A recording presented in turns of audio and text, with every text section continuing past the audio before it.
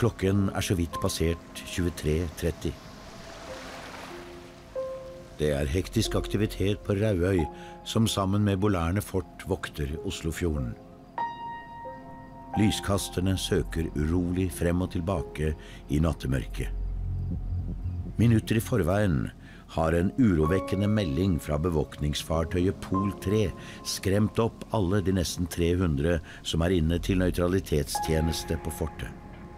Fremmede fartøyer har passert den ytre sperringen i fjorden. Plutselig skimter fortbesetningen konturene av store krigsskip som nærmer seg. Fra det søndre batteriet på Rauøy blir de første skuddene avfyrt fra norsk jord. Drønnene fra kanonene forstyrrer med ett natteroen i Oslofjorden. Krigen er nådd Norge.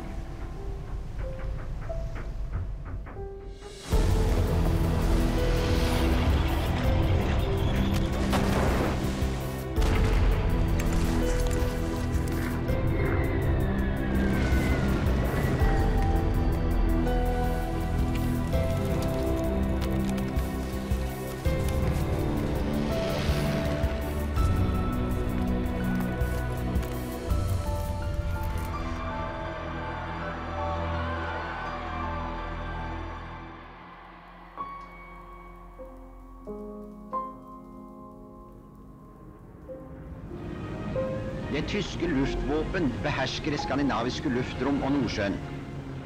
I et nøye planlagt angrep på Norge stevner seks tyske angrepsgrupper mot sine mål langs norskekysten. Adolf Hitler har igangsatt operasjon Weserübung. Like før midnatt blir regjeringen varslet om hendelsene i Oslofjorden og møtes i Utenriksdepartementets mørklagte kontorer på Victoria terrasse. Ved 4.30-tiden ankommer den tyske sendemannen Kurt Breuer til Victoria terrasse med krav om at de norske styrkene må legge vekk sine våpen og la tyskerne uhindret besette landet. Utenriksminister Halvdan Koht svarer Vi vil holde oppe sjølstendet vårt. Den tyske sendemannen repliserer Da blir det kamp, og ingenting kan redde dere. Fra en alvorspreget utenriksminister kommer svaret. Kampen er alt i gang. Samtidig seiler Blücher i spissen for fem tyske fartøyer inn mot Oscarsborg festning i Oslofjorden. Her er kommandanten oberst Birger Eriksen herre over situasjonen. Under hans klare ledelse får festningen inn to treff med sine 28 cm kanoner. Også Koppåsbatteriet på fastlandet får inn mange treff med sine kanoner. Torpedobatteriet på Oscarsborg gir Blücher dets endelikt med to treff. Blücher synker, og den tyske besettelsen av hovedstaden blir så forsinket at kongen og regjeringen rekker å flykte fra Oslo. 9. april klokken 7.45 angriper en armada av tyske bombefly festningen. Das Schlüsselbohr vor Oslo, das hartnäckigen Widerstand leistet, wird von deutschen Kampfflugzeugen mit Bomben belegt. Tyskerne etablerer i løpet av noen timer en rekke brohoder langs kysten. Angrepet kommer fullstendig overrumplende på så vel norske myndigheter som de allierte stormaktene. I Narvik blir panserskipene Eidsvoll og Norge senket før tyskerne besetter byen.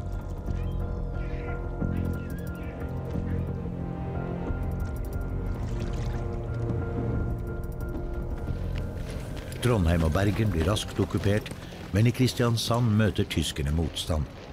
Utover dagen 9. april blir imidlertid også Sørlandet besatt av tyske tropper. Sjokk og vantro preger en hel befolkning. Det er krig i et land som har levd i fred siden 1814.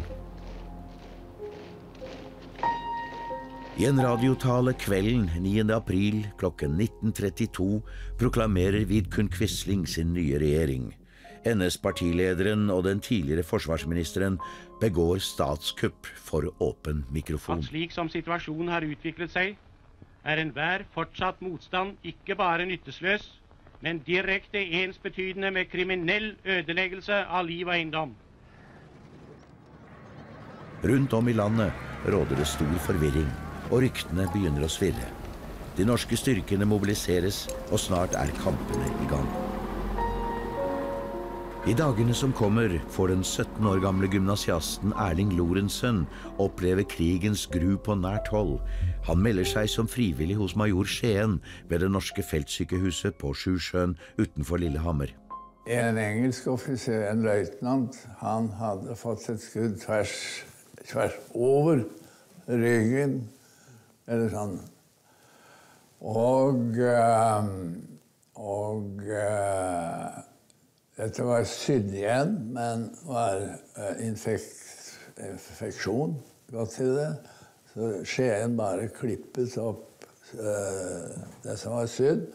Tok en spiseskje og skrapte dette såret sånn at det ble ja, Den løytnanten besvimte på veien. Og det eneste vi hadde, var kamferdråper til å vekke ham opp igjen. Men det var eh, selvfølgelig en, for meg da, det var en, eh, en uh, lærerik tid å, være den som være med på å stelle disse her knærne. Da tyskerne inntar hovedstaden, er kongen og regjeringen på vei med tog til Elverum. Nå innleder tyskerne en klappjakt, og en avdeling fallskjermjegere drar etter. Meldingen når de norske styrkene på Elverum, og major Olaf Helseth samler en styrke med frivillige på Midtskogen.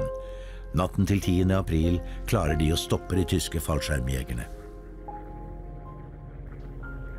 Regjeringens medlemmer er ikke lenger unna kamphandlingene enn at de hører skuddsalvene da de i all hast reiser videre fra Elverum til Nybergsund.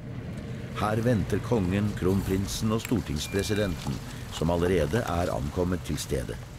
Nok en gang klarer de norske styrkene å forhindre at kongen og regjeringen faller i tyskernes hender. På Elverum befinner major Arne Laudal seg. Han er stabssjef for infanteriinspektør Otto Ruge, og er nå travelt opptatt med å organisere de norske styrkene på stedet. 11. april så var jeg nede på Terningmoen for å treffe min far. Og uh, da landa vi midt oppi bombeangrepet på leiren og på uh, tettbebyggelsen i Elverum. Det var uh, ganske intenst en stund, dette. Og det var ganske store ødeleggelser i Elverum. Bombingen finner sted dagen etter at kong Haakon avviser det tyske kravet om å innsette Vidkun Quisling som statsminister. I tiden som kommer, kjemper norske styrker mot tyskerne flere steder i landet, og en rekke byer og tettsteder blir totalt ødelagt av kamphandlinger og tysk bombing.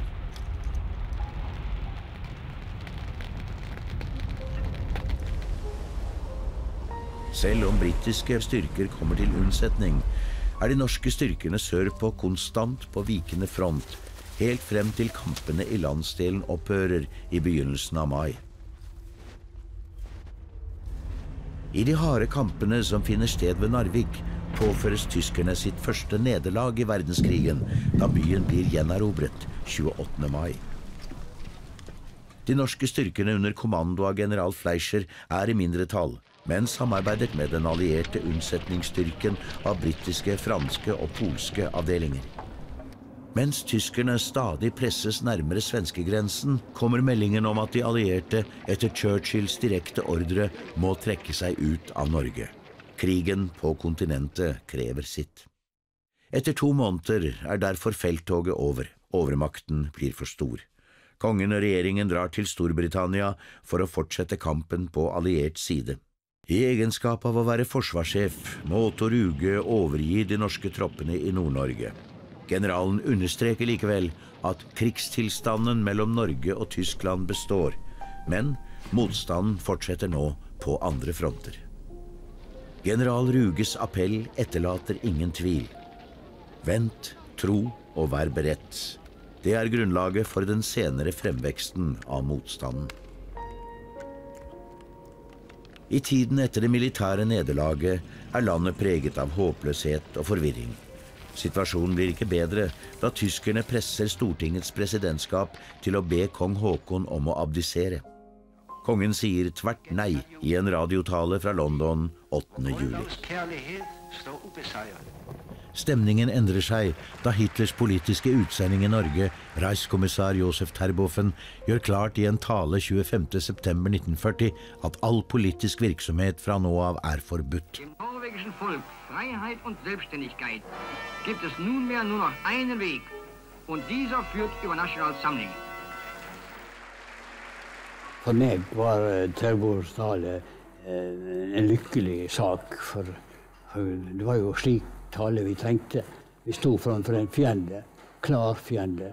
Og uh, hans tale var en vekker, ikke til uh, underkasting, men til å oppstand og opprør. Etter at kampene er over og de norske soldatene kommer tilbake til sine hjemsteder, tar flere av dem initiativ til fortsatt motstand, og en rekke motstandsgrupper blir dannet utover høsten 1940. Jeg husker helt bestemt hvordan det kom i stand. For eh, det var en eh, kamerat fra befalsskolen som jeg hadde et møte med, og da fikk jeg overrakt et eh, Madsen maskingevær. Og det var liksom en begynnelse til en armering. Og vi begynte da å engasjere venner og venners venner fra skolen og fra idretten, ikke minst eh, universitetet. Og vi tok med oss disse karene opp i skogene rundt eh, Sognsvann, hvor vi da forsøkte å lære bort noe av det vi hadde lært på befalsskolen. De første gruppene som dannes, utgjør spirene til det som senere blir Milorg. I januar 1941 møtes en liten vennegjeng hos Øystein Guderud i Bærum. Jeg inviterte fem gutta og hadde da laget et håndskrevet dokument som var nokså basispreget for oss.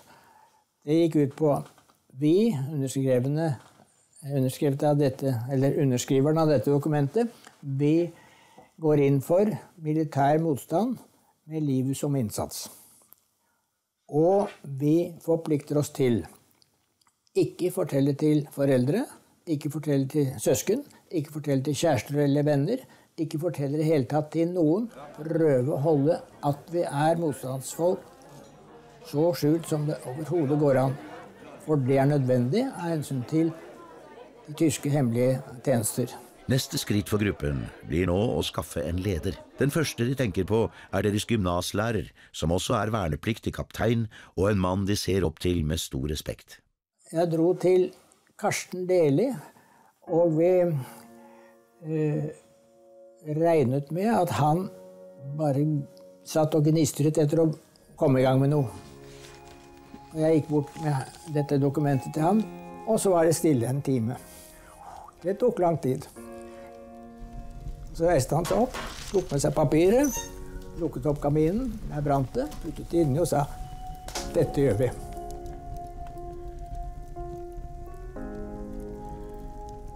Høsten og vinteren 1940-41 oppstår den første formen for organisert ledelse av motstanden. Den såkalte organisasjonen er et faktum. En av dem som nå blir involvert i illegalt arbeid, er Erling Lorentzen. Det var to venner av meg som endelig skulle forsøke å komme seg til England, og da sier jeg nei, jeg skal bli her.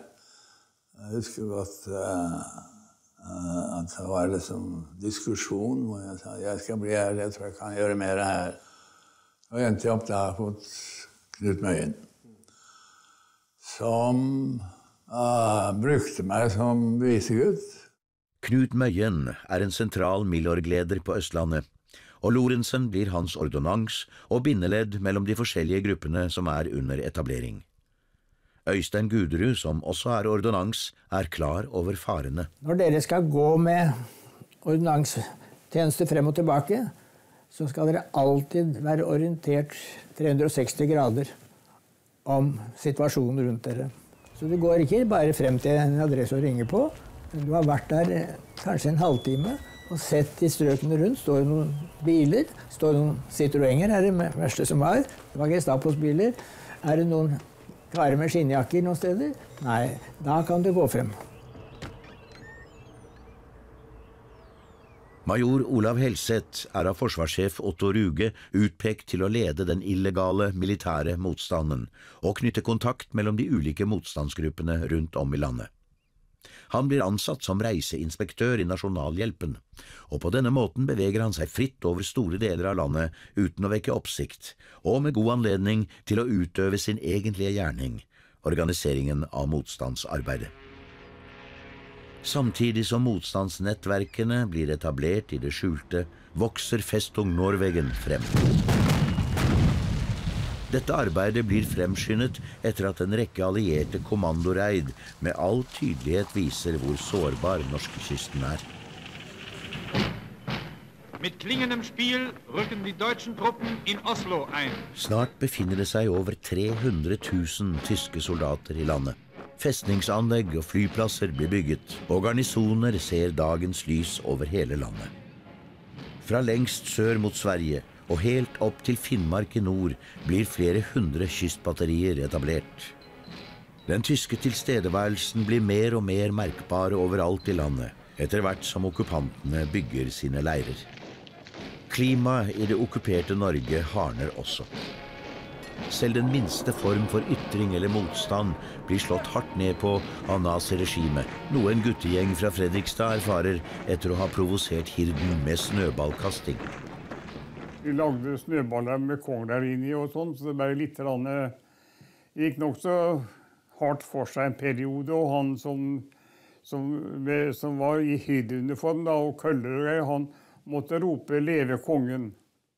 Aker blir dømt i folkedomstolen. Dette er en særdomstol opprettet høsten 1940, hvor NS-regimet retter strafferettslige tiltak mot alle former for motstand mot den nye tid. Ja, jeg ble jo dømt til ett års fengsel, og det, det fengselåret er jo litt kortere enn vanlig i år, så vi kom jo ut i slutten av oktober. Og når jeg kom hjem, da, så fikk jeg besøk av en som heter Ingvald Tendal. Han var uh, sjefen for samband og etterretning i Milorg i Fredrikstad. Og Han spurte meg om jeg ville være med på det, og sa jeg ja til. Mange har behov for å flykte unna nazistene, mens andre ønsker å melde seg til tjeneste i de norske styrkene som er under oppbygging i Storbritannia. Allerede mens kampene foregår i 1940, starter derfor englandsfarten opp. Denne flyktningetrafikken fra norskekysten til alliert havn fører til at over 3300 nordmenn drar over Nordsjøen på farefull ferd. Reise vestover var det samme som å eh, risikere Hvis du ble tatt da, så ville du få dødsdom. Og eh, klarte du ikke havet, så ville du selvfølgelig drukne. Det var jo også et, et, tema, men vi var ikke så redde for det. Men derimot var vi redde for Gestapo som ikke ennå hadde vist seg, men vi visste, hadde jo sett avisene, og i avisen sto det klart og tydelig at kontakten kontakt med fienden var det, den aller strengeste straff. Det meste av aktiviteten foregår rundt Ålesund og Bergen. Mange av englandsfarerne er ikke ettersøkt av tyskerne, men drar for å melde seg til tjeneste i kampen mot nazismen.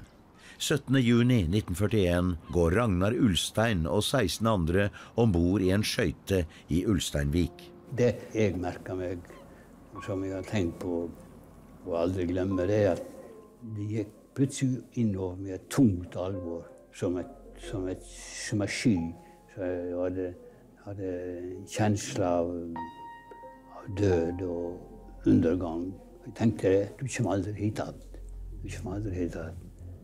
Og det stemte jo helt med det som jeg hadde i meg, at vi skulle ut og kjempe og eventuelt dø.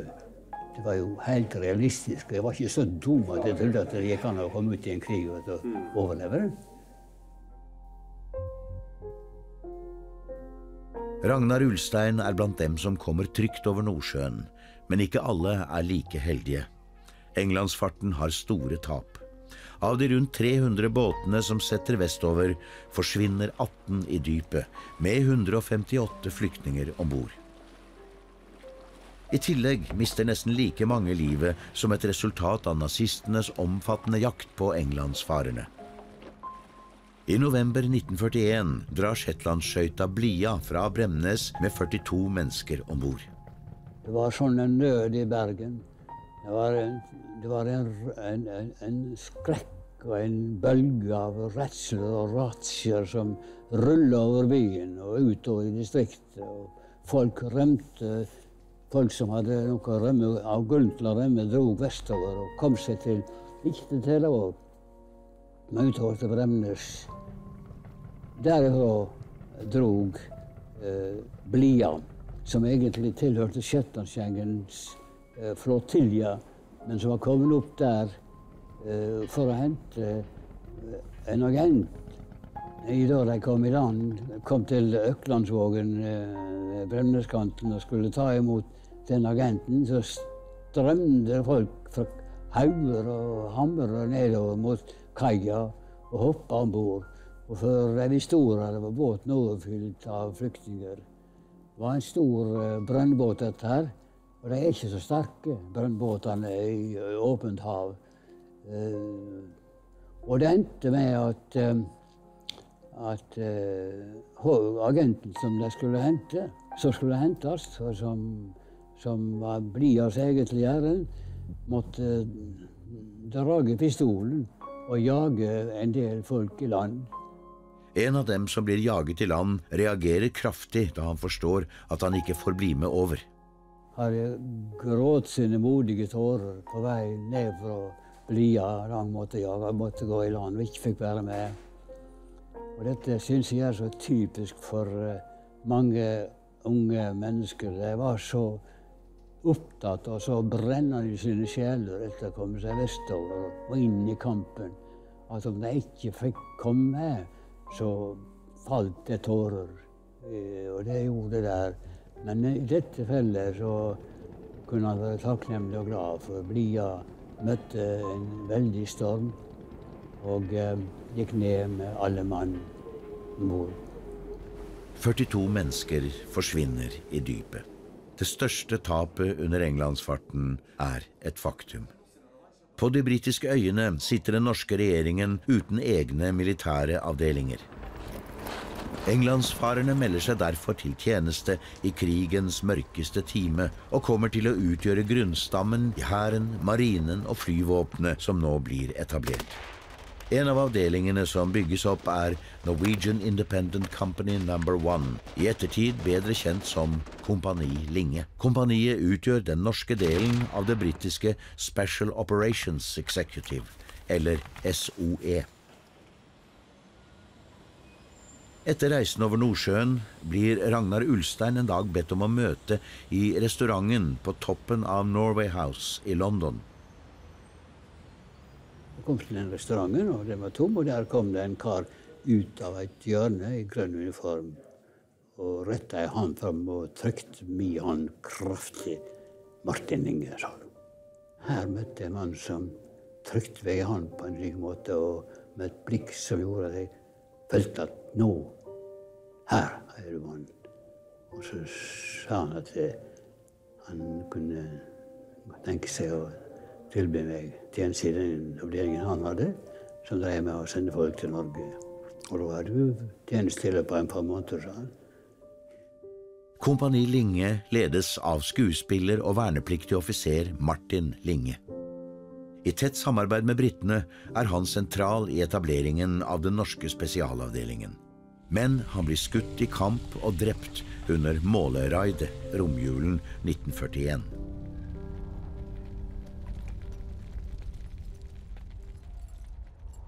I Norge blir rammen for Milorg trukket opp våren 1941. De fem såkalte kampgruppene ser dagens lys, og tanken er at disse skal benyttes i forbindelse med en alliert invasjon av Norge. På Grini sitter Otto Ruge i husarrest.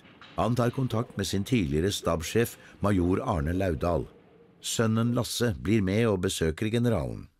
Og Da vi kom dit, så sto Ruge på verandaen, og så gikk min far opp og snakka på verandaen, og så fikk jeg beskjed om å sitte i haven.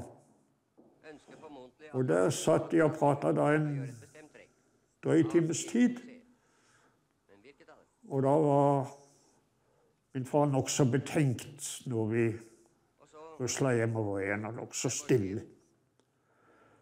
Og etter hvert så har jeg skjønt at det var da han fikk beskjed om at han skulle ta seg ned til Sørlandet igjen og forsøke å rette opp motstandsarbeidet på Sørlandet. Under dekke av å være reiseinspektør starter Laudal opp et omfattende virke som kommer til å resultere i oppbyggingen av tredje kampgruppe. Han hadde jo en veldig kontaktflate her nede. Fordi at han hadde vært sjef på tredjevisjonsskole. Og tredjevisjonsskole, det var jo da en befalsskole. Etter å ha vært inspeksjonsoffiser og sjef der, så kjente han jo masse folk utover på Sørlandet. Og det var jo i stor utstrekning disse folkene han benyttet seg av når han skulle begynne å organisere dette. Rundt om i landet er treningen i gang i det skjulte, og organiseringen er i utvikling. Jens Christian Hauge, som senere blir Milorgs ubestridte leder, kommer nå inn i organisert Milorg-arbeid. Det var Knut uh, Møyen som vervet meg. Han hadde en høy stilling i Milorg, og han kom til meg og ville ha meg som sin skygge og sin stabsmann. En skygge, det var en mann, en slags usynlig stedfortreder, eh, som skulle vite alt hva sjefen gjorde, følge ham, kjenne alle hans kontakter, men selv være ukjent uten i prinsippet at han eksisterte. Så skulle dermed kontinuiteten være sikret. Hvis sjefen ble tatt eller måtte reise, så skulle skyggen eh, tre inn. Og det var en slik skygge han ville at jeg skulle være. Våren 1941 blir rådet opprettet som øverste organ for det som etter hvert omtales som militærorganisasjonen, eller bare Milorg. 20 000 mann er samlet under felles ledelse. Mange er for papirsoldater å regne, og mangelen på våpen og opplæring er stor. Men det finnes lyspunkter. Kontakt er opprettet med norske og britiske myndigheter, men fremdeles mangler den formelle anerkjennelsen fra regjeringen i London. Samtidig som motstanden blir mer organisert, begynner okkupasjonsmakten å stramme grepet. Flere og flere nordmenn får en avvisende holdning til okkupasjonsregimet, og det vekker bekymring i tyske kretser. Wehrmacht ønsker ro i forkant av angrepet på Sovjetunionen, og de tyske mottiltakene blir kraftig skjerpet. Nye forordninger blir kunngjort med de strengeste straffer for den som tar til motstand. Den norske befolkningen merker for alvor terrorregimet. Milorg opplever i 1941 flere opprullinger og arrestasjoner. Angiveri og løsmunnetet gjør at Gestapo går til aksjon, og mange motstandsfolk blir tatt. Andre må flykte ut av landet for å komme seg i sikkerhet. En av Gestapos fremste agenter er den norske angiveren Marino Nilsson. Nå slår han til i Ålesund. Han kom med i en gruppe som drev eksporterte folk. Som vi sa, eksporterte folk til England. Eh, og han var sjøl med på å sende en slik båt vestover. På den måten fikk han tillit, og eh, på en av sine eh, tokter fikk, fikk han, ble han klar over at det var en, en, en eh, en kar som var spesielt uh, viktig og hadde spesielle oppgaver med, som, i sin gruppe. Han heter Sverre Nilsen. Han, hans gruppe var veldig aktiv. Men Sverre Nilsen var jo, som de fleste andre motstandsfolk, på det tidspunkt overivrig. Og på en gang, en gang om bord i en av båtene som han sendte, fikk han et brev fra en flyktning som han flyktningen ba han dra videre med til adresse i Oslo. Nærmest for å si at vi er her og vi er snart framme i England. Vår mann reiste med dette brevet til Oslo, men på samme tog reiste også Marino Nilsson. Marino Nilsson følger etter og merker seg adressene og utseendet på kontaktene. Gestapo kommer derfor for første gang på sporet av en omfattende motstandsgruppe. Så reiste Marino Nilsson tilbake hit og fortsatte englandsfarten som, eh, som, gikk som før, men han var under mistanke. Og eh, gruppa han har tilhørt, den fikk han i fengsel. Men han hadde gjennom sin kontakt med lederen fått vite om en mann i Bergen som også var leder for en gruppe som holdt på med samme trafikken. Så han reiste til Bergen, og utga seg som, som, en mann som forfulgt, av Gestapo. Og uh, spilte sin uh, kort så godt at han ble tatt inn i gruppa. Gruppen han kommer inn i, er en del av Christian Stein-organisasjonen, som omfatter nærmere 1500 mann på Vestlandet. I tillegg til englandsfarten driver Stein-organisasjonen også med andre former for illegal aktivitet, som illegale aviser, etterretning, radiosendinger og våpenopplæring. Denne sammenblandingen av aktiviteter viser seg å bli skjebnesvanger da Gestapo nådeløst slår til. I september 1941 gikk Gestapo til aksjon. De arresterte eh, hundretalls menn. 70 kom til eh, å dø i Tyskland av disse. Alt i alt så kosta eh, englandsfarten 300 menneskeliv. Og vi har fått 3300 år av havet. Og de fleste av disse 300 som vi mistet, var i verk. Derfor var disse nordmennene umåtelig viktige for Gestapo. Uten dem kunne Gestapo lite ha vært gjort i Norge. Opprullingene etter angiveriene er omfattende. Mange av tapene skyldes mangelen på vanntette skott mellom de ulike motstandsaktivitetene. Kravet til sikkerhet skjerpes, og det er nå tydelig at de ulike formene for motstandsarbeid må skilles fra hverandre. 20.11.1941 blir Milorg og rådet anerkjent av regjeringen som den autoriserte militære motstandsorganisasjonen i det okkuperte Norge. Omorganisering av Milorg kommer nå i full gang, og en av nøkkelpersonene i dette arbeidet er Knut Møyen. Han var på ferde sent og tidlig, med en glød og en begeistring som vant over alle vanskeligheter. Og han uh, hadde en sporsans og en praktisk evne, slik at han var kommet uh, langt på vei i løpet av det halve året med sin oppgave her på Østlandet. Resultatet av dette arbeidet vinteren 1942 er en rekke nye direktiver og utdanningsprogram som samlet utgjør direktiv nummer én, også omtalt som Milorgs bibel. Milorg blir nå organisert i 14 distrikter med egen ledelse. Distriktene er deretter delt inn i avsnitt, som igjen deles inn i områder. Milorgs grunnenhet er små lag bestående av seks til tolv mann, og de blir nå organisert etter celleprinsippet, hvor hvert lag er selvstendig. Dekknavn blir innført, og sikkerheten skjerpes.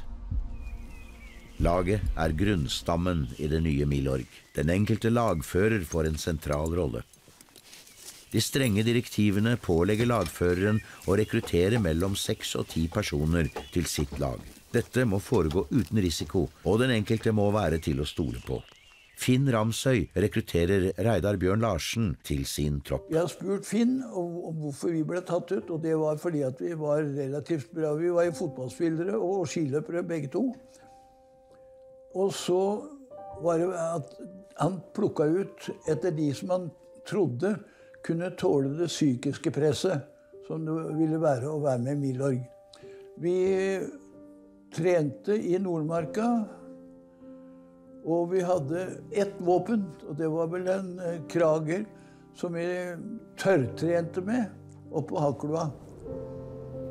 Ellers så var det å, å gå på ski og, og lærte alle militære ting. Den enkelte jeger vet minimalt om Milorg som organisasjon, og må på tro og ære love å underkaste seg full militær kommando og disiplin som en del av det norske forsvaret. Og alle blir pålagt å holde seg i meget god fysisk form. Da visste jeg det at lørdag og søndag var jeg alltid opptatt. Og vi dro innover, og det var jo ca. 3,5 mil vi gikk på ski innover. Eller på beina så var det Ofte hadde vi jo nattøvelser også. Og det var, var enten ved helgeren hadde vi, og så var vi på Hakkelmana og Hakkelkalven hvor vi, ja, Finn eller noen hadde fått låne arbeidsbrakker for tømmerhoggere av Løvenskiold. Vi lagde oss noe opplegg, f.eks.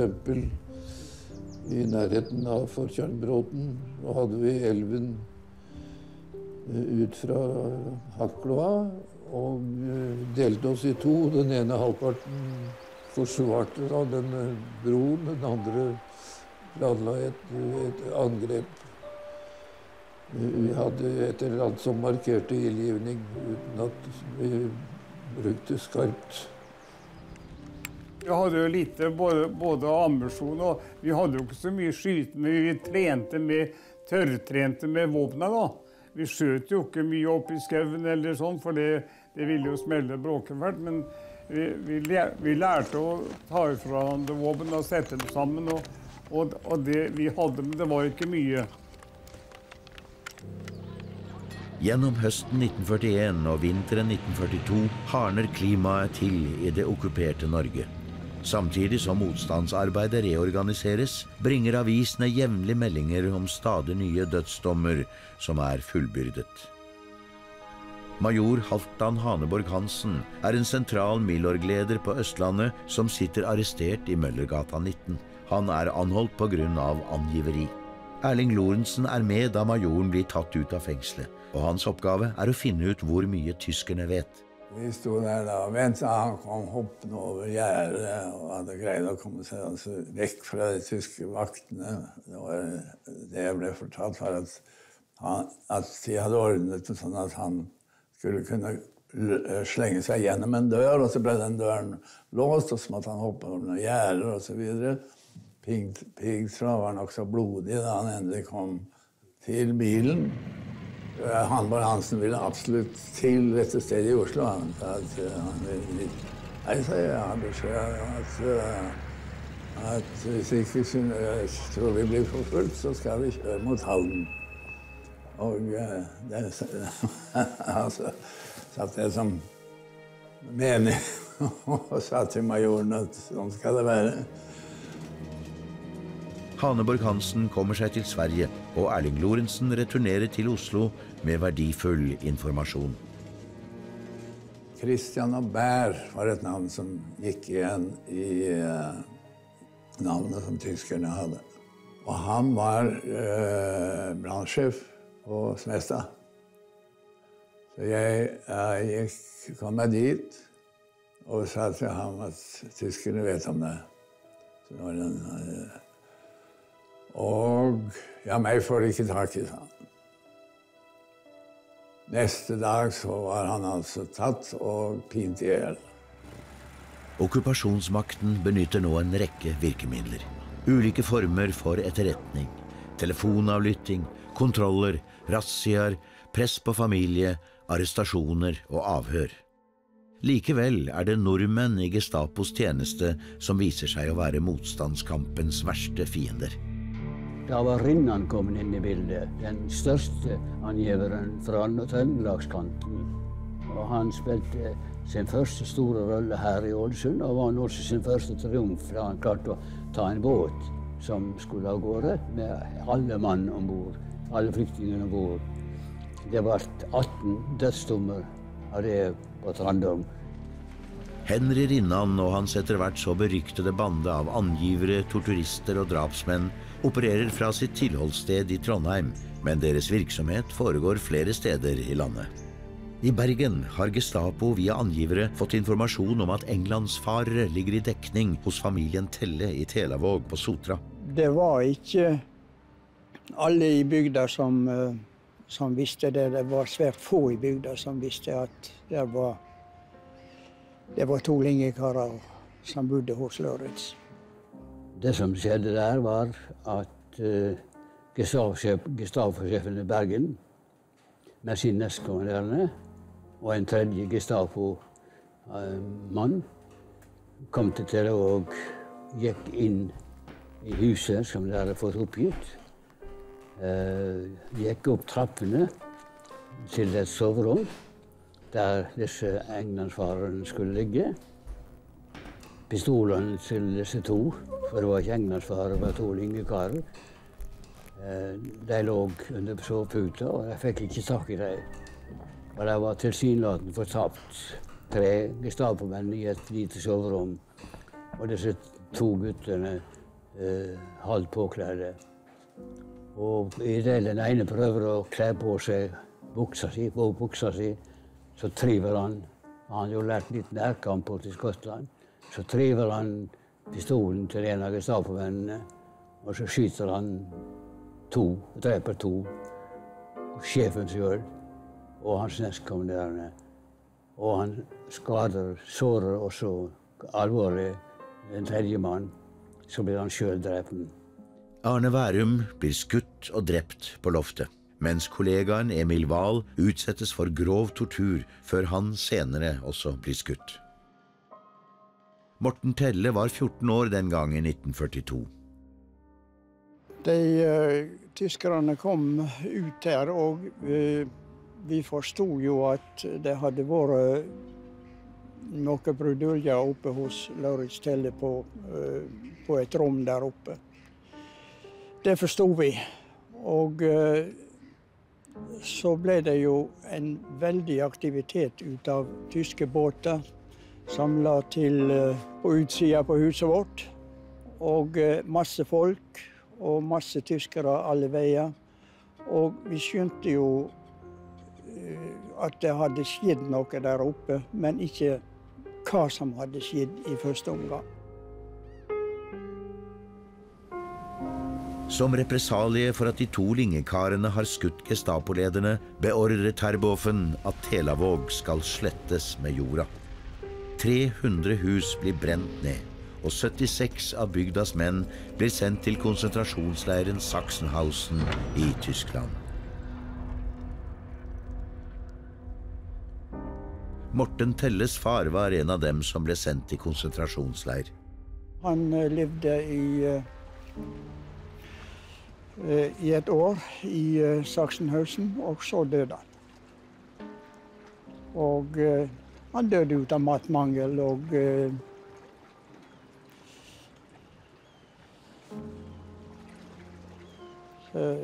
praktisk talt sulta i hjel. Det gjorde de fleste som døde i Sachsenhausen. De resterende innbyggerne blir forvist til andre steder i landet. Vi var tre stykker som skulle ut. Det var min bror på to og et halvt år, jeg og mor. Vi, eh, det tok ikke så lang tid å, um, å pakke de sakene vi skulle ha med oss, så vi gikk opp til, eh, til ungdomshuset og uh, fant oss en plass der oppe og satt. Det skulle komme fikk underretning om at det skulle komme båter og hente oss om kort tid. De blir først sendt til Storetveit skole i Bergen, og senere internert på Framnes ungdomsskole i Hardanger. Her satt de til slutten av krigen, men de overlevende fikk ikke komme tilbake til den nedbrente bygda Telavåg før krigen var over. I tillegg beordret Terboven skyting av 18 av englandsfarerne som nylig ble arrestert i Ålesund. Terroren rammer sivilbefolkningen hardt. Dette er starten på en serie opprullinger som medfører at det militære motstandsarbeidet på Vestlandet blir liggende nede i flere måneder. Det får også ringvirkninger på Østlandet, hvor SOE-agenten Tor Gulbrandsen blir arrestert av Gestapo. Tor Gulbrandsen enten han ble torturert eller ikke, kom til å åpne seg.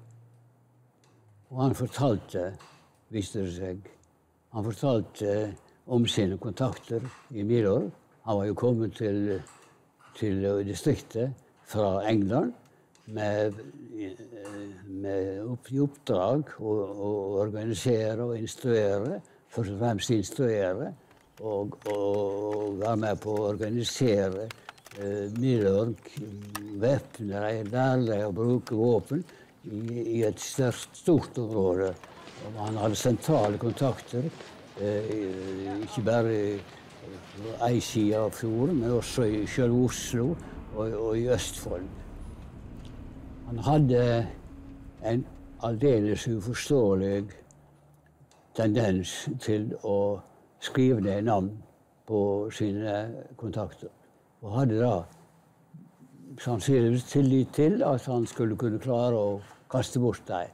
Men det som skjedde, var jo at nettopp fordi han skrev det ned, så var det ingen sak nå da han har åpna seg for dem, og etter hvert gått med på samarbeid med eh, Gestapo, først og fremst Gestapo-sjef Femer, så oppgav han da eh, så sentrale navn i eh, Milorgs unge organisasjon at eh, da Gestapo kunne gå til aksjon En rekke steder i Oslo, Buskerud og Vestfold blir Milorg-ledere arrestert. Ringvirkningene når også Østfold, og store deler av Milorgs organisasjon er i ferd med å rakne fullstendig. I Oslo har de alarmerende nyhetene nådd Erling Lorentzen. Han oppsøker Knut Møyen, som i praksis nå er sjef for Milorg på Østlandet.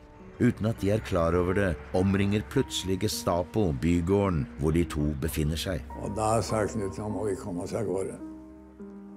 Uh, men jeg må opp på loftet og hente noe først. Jeg vil være oppe på loftet og hente noe der som han hadde hjem.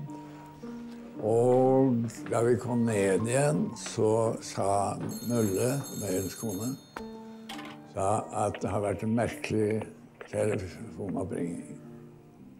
Og så ringte det på